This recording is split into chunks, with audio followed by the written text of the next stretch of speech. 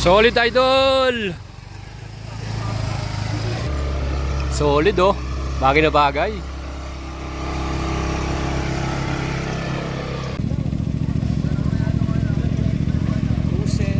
Ito na mga idols yung ating pinakainihintay na test ride at actual performance ng bagong Maxi Style scooter ng FKM Motorcycle. Isa rin tayo sa na-invite para sa Media Day ng FKM. Dito po yung ginanap sa Martesem, Tanay Rizal. At mga idol, ito na ang pinakasulit na maxi scooter na mabibili mo ngayon na expressway legal. At syempre, napaka-reasonable ng presyo, 288,000. Tatlong color ang available, color gray, color white, at red color. 3D pa ang kanyang pinaka-emblem at logo. No? Kaya ano pang hinihintay nyo mga idols? Kung ito po ang gusto nyong ilabas, aba, send message na lang kayo sa atin mga idol. Ito na mga idol ang ating bagong-bagong Maxi Style scooter from FKM Motorcycle Philippines. Ang kanilang Slick 400 ano. So ito po expressway legal and pinaka-affordable sa lahat ng scooter na meron tayo ngayon sa market. Alam nyo ba kung magkano ang presyo nito? 288,000 lang mga idol. And tatlong color ang pagpipilian natin. Meron tayong color gray, red color and white color. Kaya mga idols, kung gusto nyo malaman lahat ng specs and features nito, plus yung kanyang mga detalye pa, tara, samahan nyo ako at ibibigay natin sa inyo yan mga idol. Nice. At para naman sa ating actual ride papuntang uh, Marilake, Tanay Rizal, aba hindi lang natin basta na-enjoy ang pinaka-view dito. Siyempre, yung comfort at performance ng bagong Slick 400 talagang nagustuhan natin mga idol. At sabi ko nga, hindi ka magsisisi pag binili mo to dahil very reasonable din ang kanyang presyo. Ayan mga idols, para tayong nakaupo sa kama na sobrang komportable ng kanyang mga suspension. Solid mga idol. Ano? And ang naging starting point nga natin, nung umpisa tayo sa FKM Kainta branch or Pinstripe dealership. No?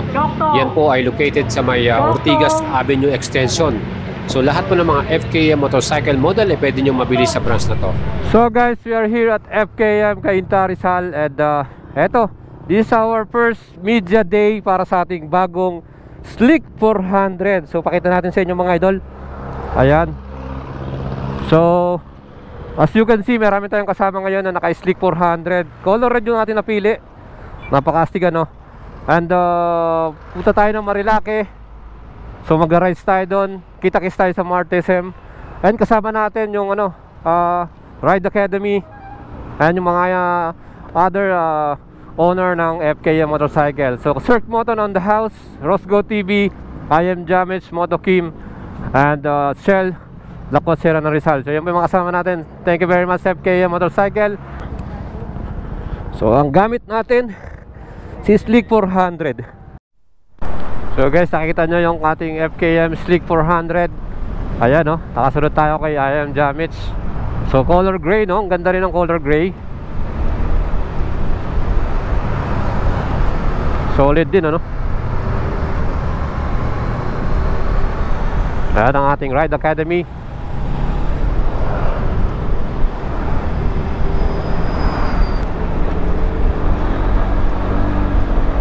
Lakas ng makina mga idol eh no So akyatan to ah. Napipil ko yung lakas ng kanyang uh, engine. So magaling sa torque uh, Masasabi ko okay.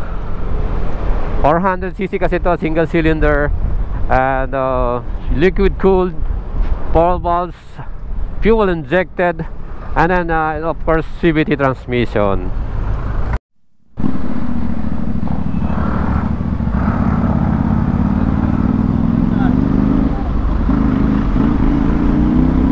Ayan mga idol medyo maano ano medyo malubak dito. And uh, ayan suspension check. Alright okay naman. Uh, hindi mo masyadong feel yung op oh, di ba? Nagpa-bounce siya eh. Ang ganda eh. Oh oh oh oh alright so okay. Ganda rin ang suspension. Ayan. Mga kasama natin right nice. academy.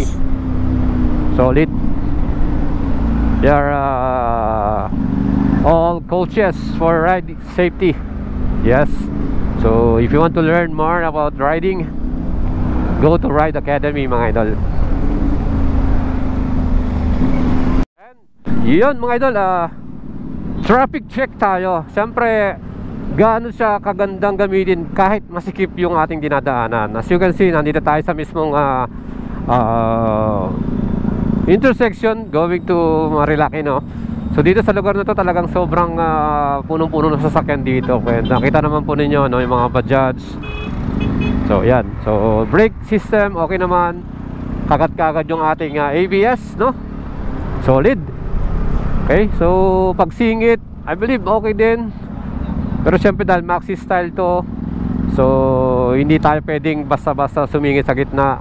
Kailangan na sakto, no? Kalkulado natin yung ating pagsingit dito. So tingnan natin dito sa gilid noon ng left side. So ayan. Ayan. So we're going to right side now and then uh, Ayan mga idol. So ito medyo mabilis na yung pace natin dito dahil nasa ano na tayo, highway na. Right? So good job.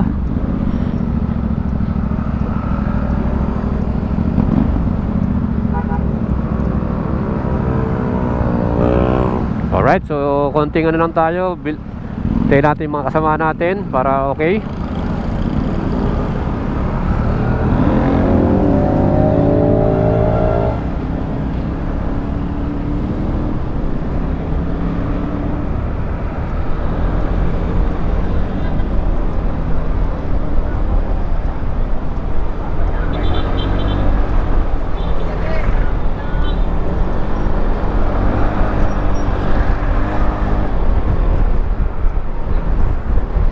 And nag-regroup lang tayo mga idol at na nag-stop over dito sa Clean Fuel para mag-jingle.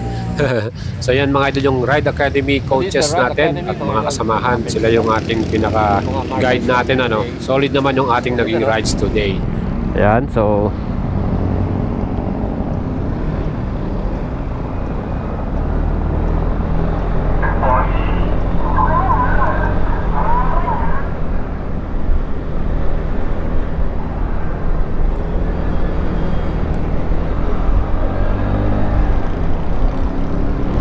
di ba? Ganda rito, no? Lamak ng ah, kalsada. Oh, siyempre pagka ganitong gamit mo, relax na relax ka lang din. Oh, di ba?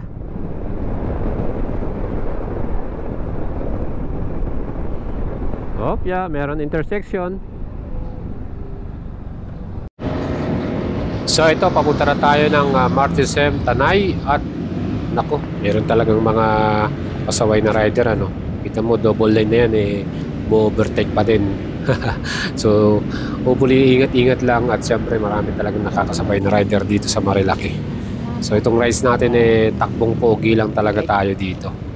So yan mga idol, ah, overall performance ng ah, Slick 400 ay talagang ah, nagustuhan natin siya comfort level, ba napakaganda.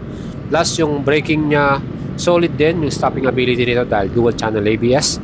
And uh, para sa Slick 400 sa presyo na 288,000, aba napaka sulit na. O di ba mga idol? Siya po yung pinakamura sa ganitong ano ah, ah, presyo. And kung kayo po ay naghahanap ng isang maxi scooter na swak sa inyong budget, hindi masakit sa bulsa, I believe ito na yung pinaka magandang mabili sa ngayon sa atin sa market sa Pilipinas. Siya na yung pinakamura mga idol ano.